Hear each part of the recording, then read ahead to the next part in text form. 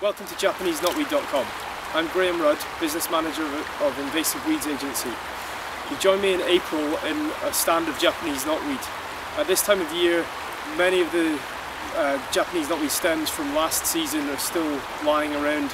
Some of them, as you can see here, are still standing. Uh, this gives a clear indication of where the Japanese knotweed infestation is at present.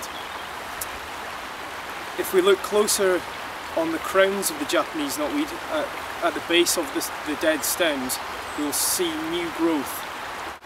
Within the next month, these small red buds will transform into large green stems, beginning, off, uh, beginning to look like asparagus in appearance, and then they will transform into something that looks more like bamboo.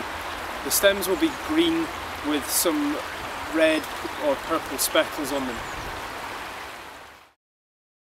For more information on Japanese knotweed, visit japaneseknotweed.com.